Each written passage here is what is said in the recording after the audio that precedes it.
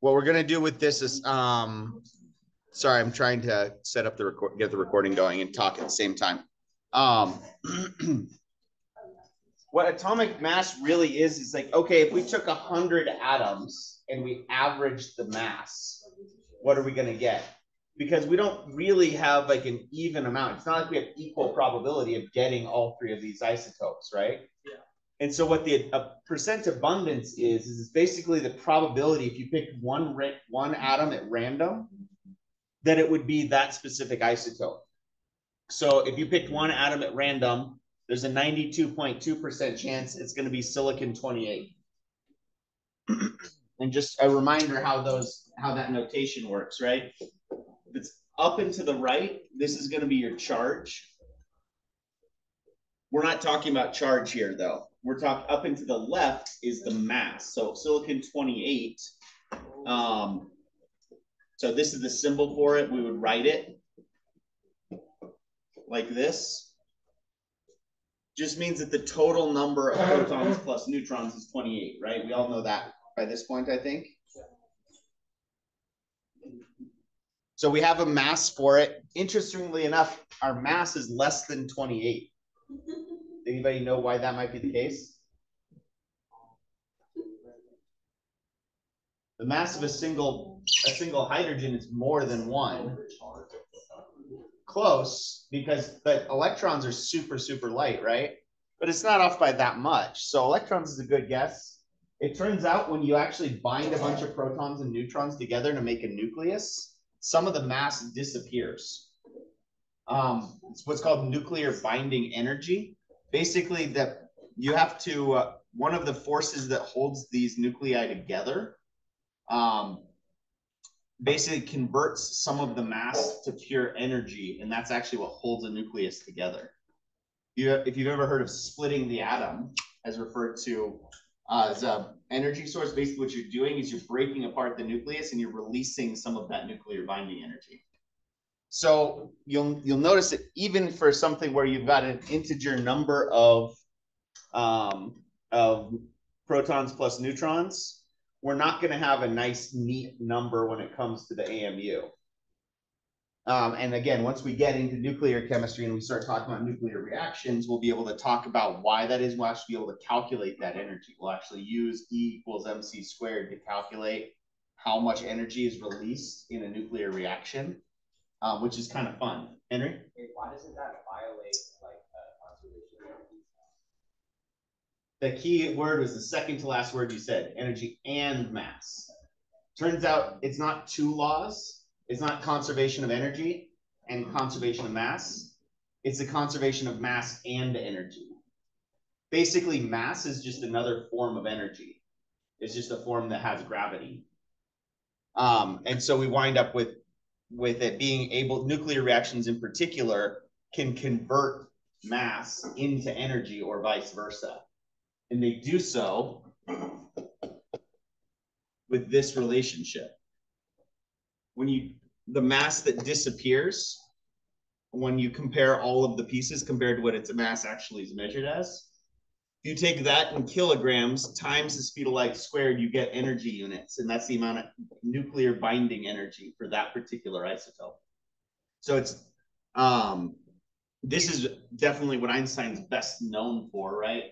and in the what the the full title of this it's not just E equals mc squared he proved energy mass equivalence he proved that mass really is just energy which kind of hard to wrap your head around.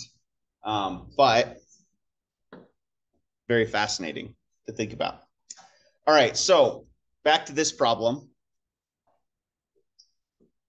If we have all these different probabilities and all these different masses, what's the average probability if we're going to take a whole big set, like picking 100 atoms out?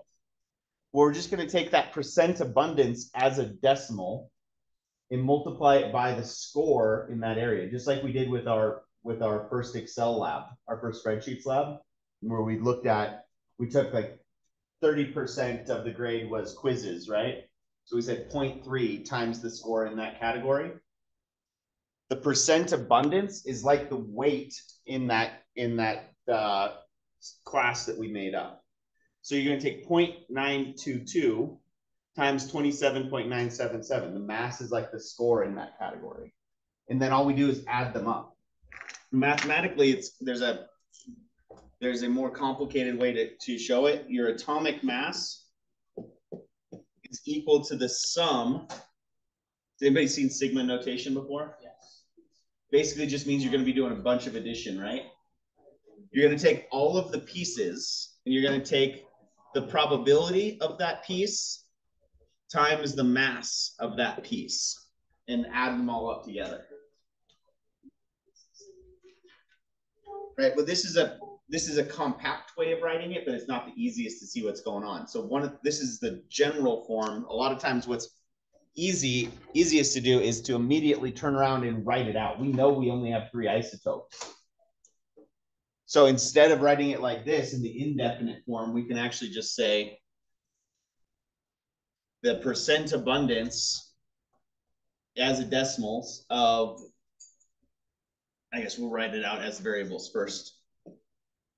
Percent abundance of 28 times mass of 28 plus percent abundance of 29 times mass of 29 plus percent abundance of 30, 30 or 31? 30 times the mass of 30.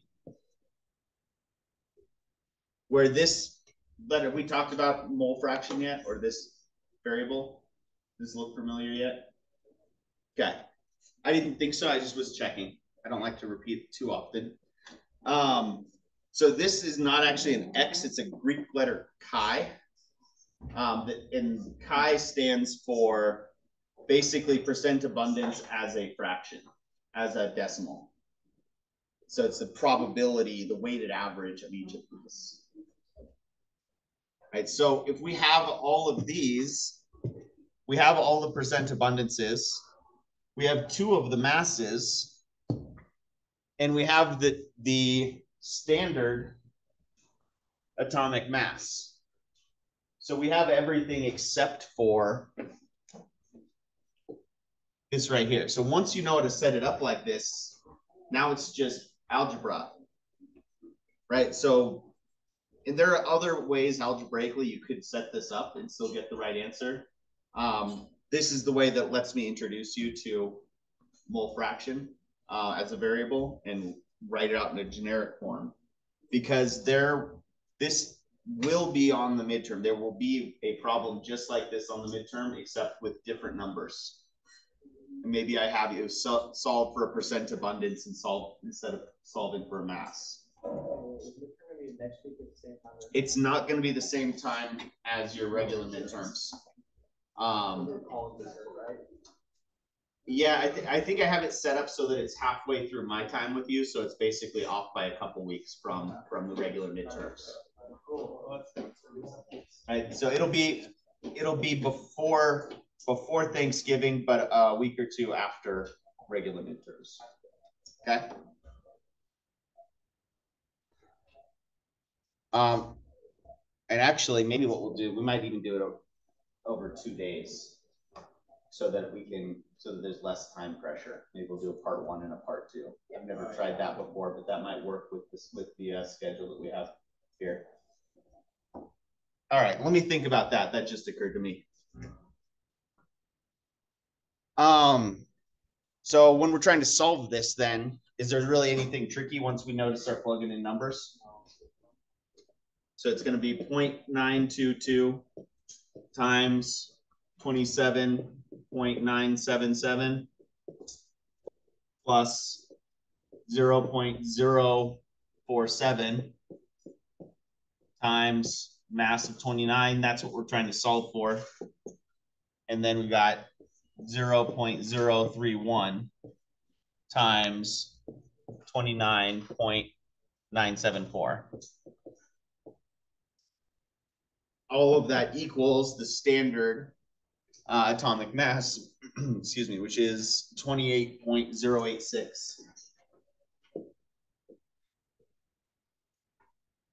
So I just start doing the arithmetic, multiply stuff out, combine like terms, solve for x.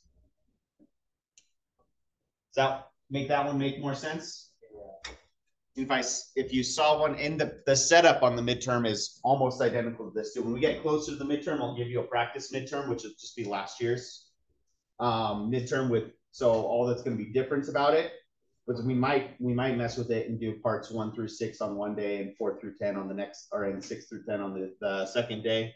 But it'll be the same format for all the questions. I'm not gonna get tricky. I'm not trying to trip you up with the test. I'm trying to test you on basic skills that we're picking up in this class. Um, so you'll be able to see it, but literally it's this exact same format. I'll give you some information about an element. I'll give you some information about percent abundance and masses, and I'll ask you to, to solve for one of the pieces.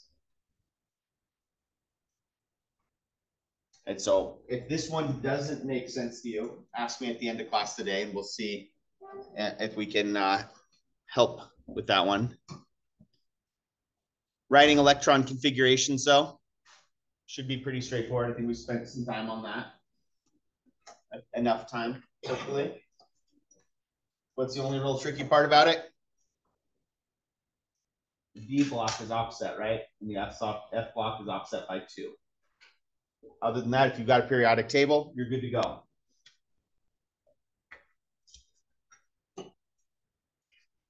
Yeah, Lisa? What's the difference in like writing what is it called, writing the, configuration and drawing it? What, this is writing it out. So this is writing it out. Um, we, I, I usually call those a, a atomic orbital energy di or an energy diagram or something like that. When I say elect, electron configuration, I mean write it out one S two to S two.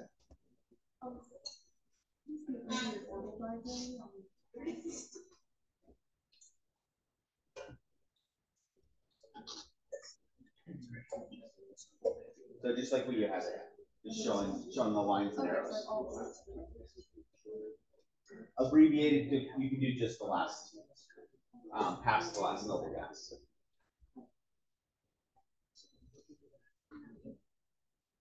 All right, any, any other questions on yesterday's assignment? Oh, there's one more. Um, question five B.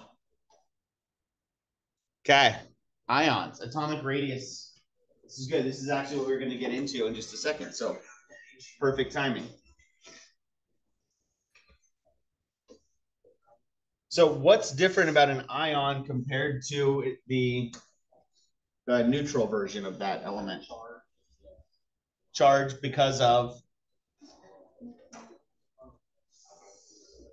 what's different about a chlorine atom versus a chlorine ion? Number of electrons. That's what I was looking for. We have one extra electron here, right? So doing our electron dot, our electron configuration, we would just add one more electron in, right?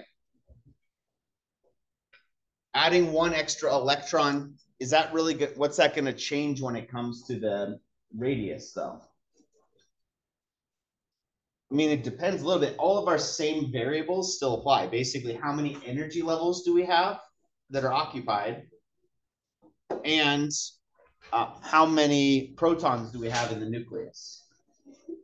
So if we we're looking at five A, nitrogen, phosphorus, or fluorine, they're all pretty close up there.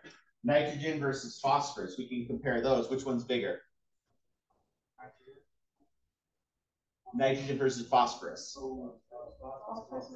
Phosphorus is bigger because it's got an extra energy level occupied, right?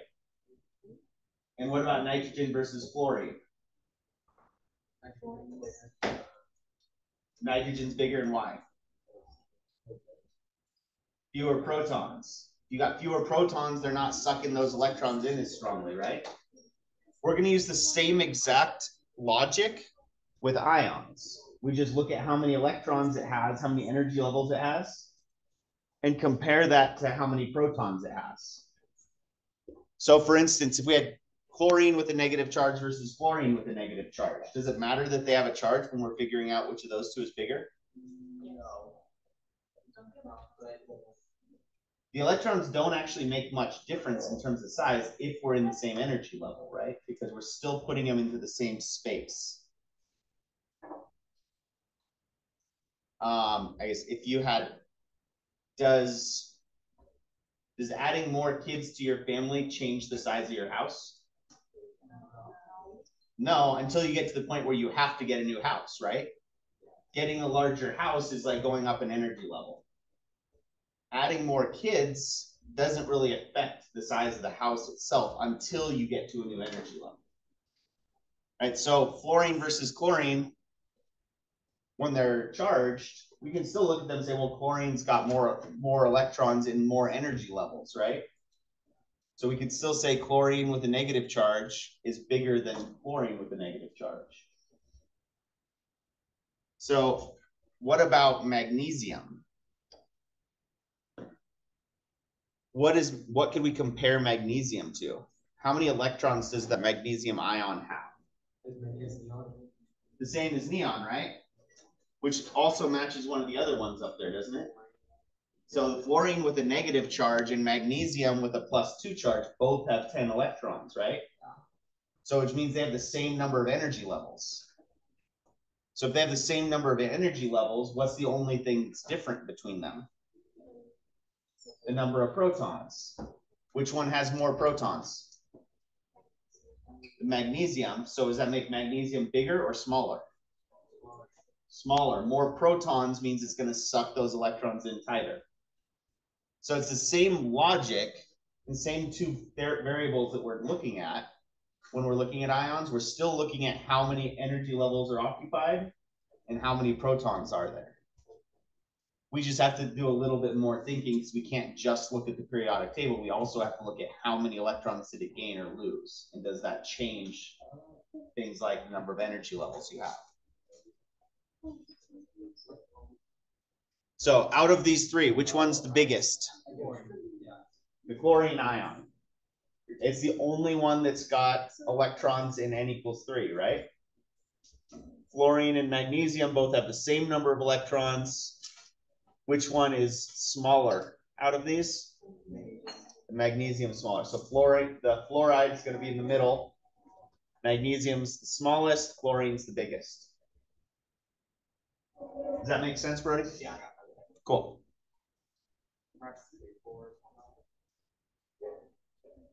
Let's talk about ionization energy a little bit.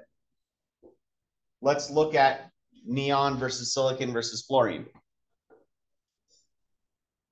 Which of those would we expect to have the largest ionization energy? Yeah, And why? because it's the, the highest stuff and most right. It's highest and most right, and it's a noble gas already. It's already got a full p orbital, right? The, the electron configuration for neon is 1s2, 2s2, 2p6. If we were going to take an electron away, we would have to break up a full p orbital, which we've already talked about how that's really not very favorable. That's really hard to do. It's hard to take an electron away from fluorine too, but at least we don't have to break up a full orbital to do it. And then how about, so then by process of elimination, silicon's got to be, be the easiest for several reasons. It's got more uh, energy levels. So our highest occupied energy level, our valence energy level is n equals three instead of n equals two. So that means it's not being held in as tightly. And then it also is further to the left as well, right? So it's further away from having a full energy level. So 1s2, 2s2, 2p6, 3s2, 3p2. That's a lot easier to take that electron away than it is to take either of these electrons away because we're in n equals 3 and we're not even that close to a full orbital. What about sodium, magnesium, and aluminum? Those ones are actually all in a row. It seems like they should be easy. Of course, when I put it like that, it makes you second guess it, right? What do their electron configurations look like? Sodium, magnesium, aluminum. 1s2, 2s2, 2p6, 3S1. everything the same except it's gonna be 3S2.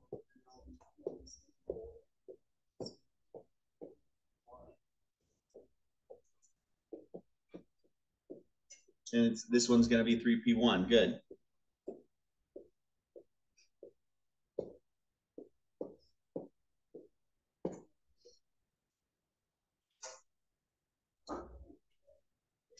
So if we're taking one electron away from each of these, which one's gonna be the easiest to take an electron away from? Sodium? Why? What happens when we take one electron away from sodium? It's gonna get really stable. Taking one electron away is enough to make sodium look like neon, right? Make it look like a noble gas, which makes it really stable, Landon? That's a good, why would you sus- suspect aluminum? It's got one electron in a p orbital. When we take one electron away from an aluminum, now we're down to only full, full orbitals, right? But we didn't get all the way to having an entirely full energy level. So this is gonna be the easiest, but then aluminum seems like it should be the second easiest, and you're right. We would expect based on the trend, just looking at the periodic table, our rule was further up and to the right, ionization energy got higher, right?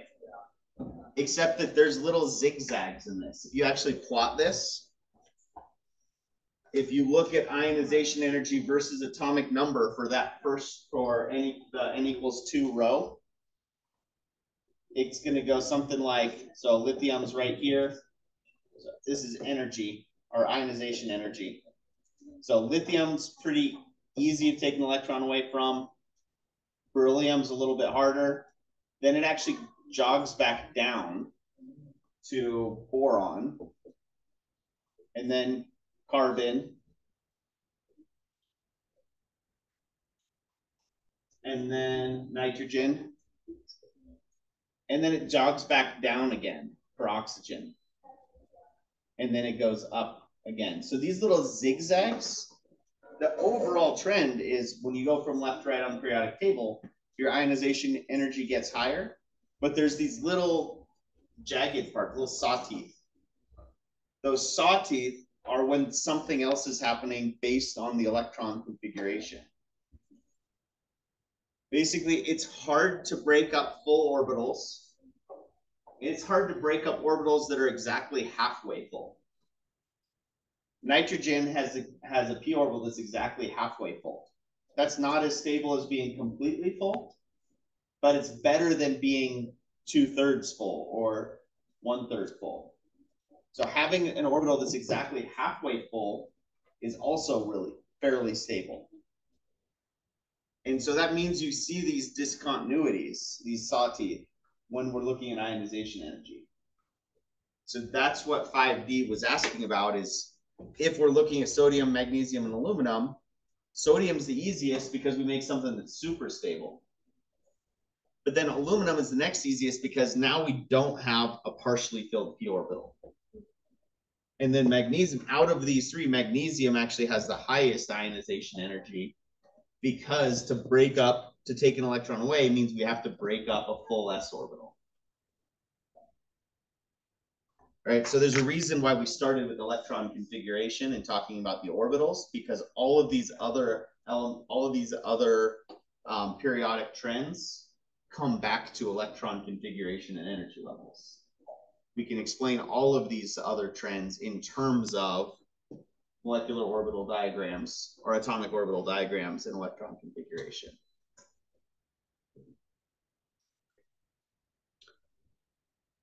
In fact, I think on the on the slides for today, where'd mouse go?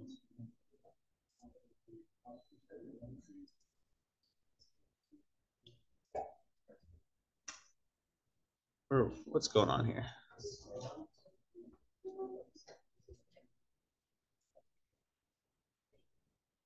There we go. That's why I couldn't find it.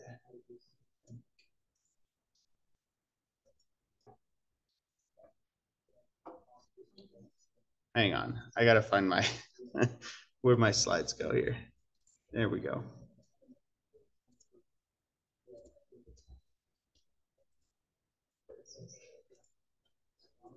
All right. So were there any more questions on the assignment from yesterday? That'll do it. Okay let's talk about one more periodic, well, it's really two more periodic properties, but two with two names. So ionization energy is sort of is is the energy required to take an electron away. There's a periodic property called electron affinity that's the exact opposite. So electron affinity is get that out of there.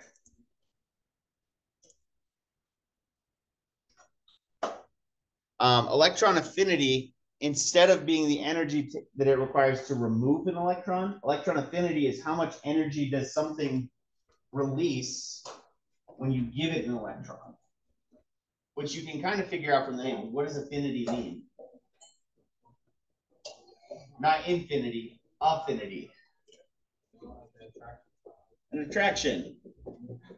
Did I spell that right? Affinity. Yeah. If you have an affinity for something, it usually means you like it, or you're attracted to it, or you're good at it. I'm not actually sure how you would turn that into a verb, what the proper term. I'm sure there is one. Affinitize.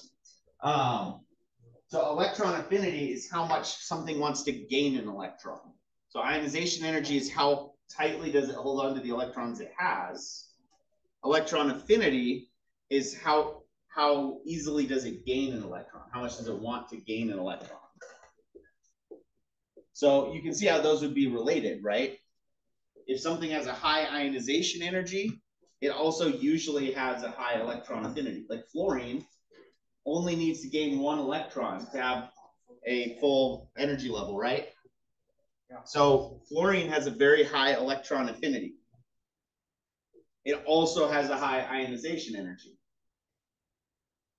But what about what about neon? Neon has an even even higher ion ionization energy. Does neon have a high electron affinity? Oh, Why not? It's already full, right? If we gave it an extra electron, now we'd have to start putting electrons into the next energy energy level. So it's a little bit uh, it's a little bit different than ionization energy. It's talking about related properties, but they're not quite the same. And a lot of times we'll actually talk about electron affinity when we start talking about covalent bonds. We'll start talking about electron affinity. The other term for it, it's called electronegativity.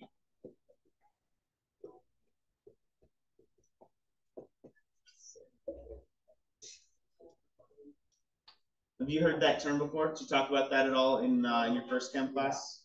A little bit? Yeah, a little bit, it was very brief. Yeah. So electron affinity and electronegativity are related, except we usually we use electro electronegativity to talk about how evenly electrons are shared in bonds.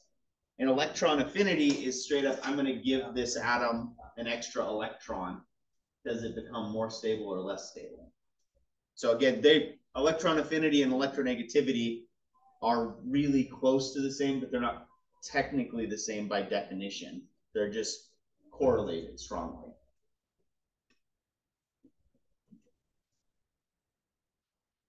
Uh, and then one more, one more um, periodic trend. This one I don't, I'm not going to ever ask you about on a test because this one's kind of hard to define. Um, metallic character is actually a periodic trend as well. So metallic character means how metal something is. Right? So and that's it's not actually what you would expect necessarily when it comes to the periodic trend. Because where are the metals that we're used to see thinking about as metals? If I took a sixth grader and I told them to to uh, point to something metal or what type of metal would be on the periodic table, what would they guess? Iron. Iron's square in the middle of the D block, so that doesn't seem much like it's that close to to any of our regular periodic trends, but the, most of our periodic trends, like, oh, all the way to the right, all the way to the top, right? Iron square in the middle, gold, silver, and copper. Like coins are probably like the first thing that a kid has experience with. That I guess maybe not anymore. People don't use cash anymore, but um, you know, finding copper pennies is you know a core memory for as a five year old kid, right? Find a copper penny and pick it up, and you have good luck all day. That's still a thing, right? So, but copper is actually not that metallic of a metal in terms of metallic character. Metallic character means things have really high conductivity. They're very malleable. What does malleable mean? Bendable. It actually literally comes from the root um, malleus in Latin means hammer. Something malleable means that you can hammer it flat, or you can make foil out of it by literally just hitting it with a hammer. Um, so metals are are malleable. Metals tend to have really high electrical conductivity and usually high thermal conductivity as well. Um, they also tend to be what's called ductile, which is kind of like malleable. What does, does anybody know what ductile means? Close. Ductile strength is means what? It's kind of related to tensile strength. Basically, when you pull on something, you stretch it. That means it's ductile. So you can actually take a chunk of copper metal, you can grab both ends of it with really strong vices and pull it and make copper wire out of it. That's ductile. But the most ductile, malleable, shiniest, um, most metal elements are actually the ones that have the lowest ionization energy. So where would we expect to see them? Where's the lowest ionization energy? Bottom left. So, but the thing is, they're so reactive in the presence of oxygen that we never actually see those elements as metals. Sodium is actually more metallic than aluminum, but we don't see sodium metal very often. Why? Because it forms salt. Did you did uh, any of your other chemistry classes do the experiment where you or not experiment the demonstration where you throw sodium metal in water? No. We can do that at one point. Does anybody know what happens? It explodes. It, first it melts really quickly the, um, the sodium metal melts and starts fizzing and giving off bubbles. Those bubbles are hydrogen gas. And it, then it actually um, starts putting off enough heat that it ignites the hydrogen gas that's, that it's emitting. And so it catches on fire. And then if it's a big enough chunk, it'll actually explode. Um, so obviously we don't really want to use sodium for a lot of the applications where we want metals, right? We don't want to make circuits out of sodium metal, even if it's a really good conductor, because we don't want them catching on fire every time they're exposed to water. And potassium is even better, partly because it's more likely to, it, it reacts more violently is what I should say. Um, which if that's what you're looking for, makes it even more fun because um, not only does it explode like almost every time, it does so with purple sparks. Because you did saw, saw sodium in your flame test the other day, right? Those whitish purple flames.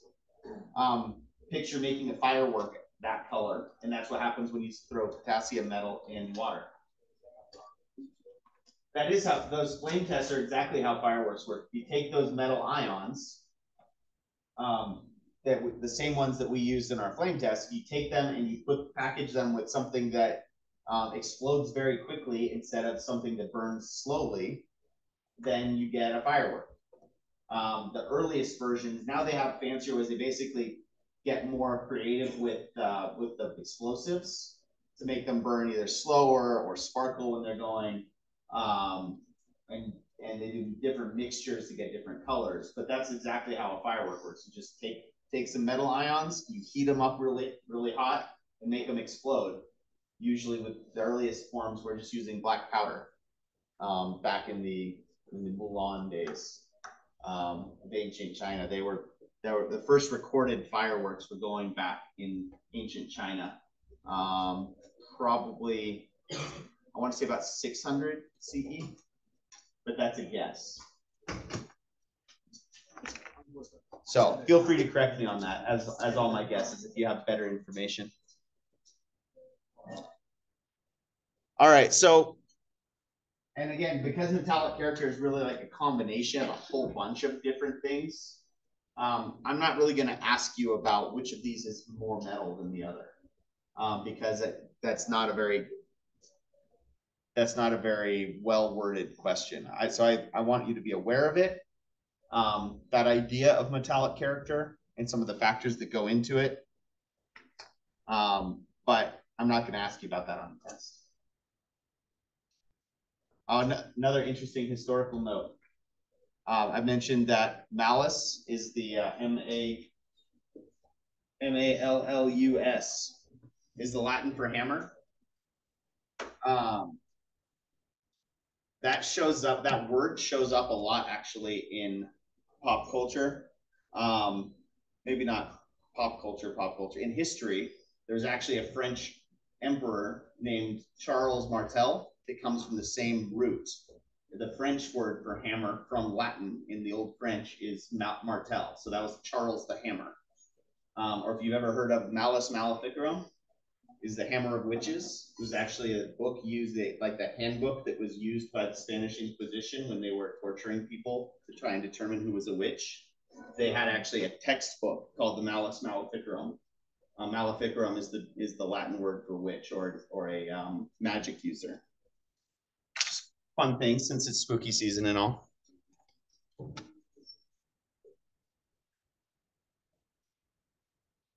All right, what else was on here? We talked about all these charges. We're not going to get into naming today. We'll do that on Friday.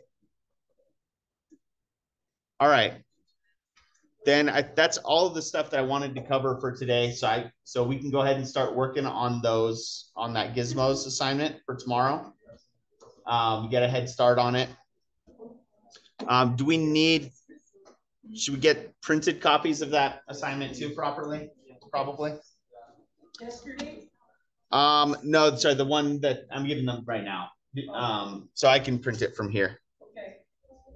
This yesterday, to the library, made them, and it's great. Okay. Then ev- everybody can can start working on the um on the gizmos, get everything pulled up, and I'll make I'll make some copies and some get some stuff printed.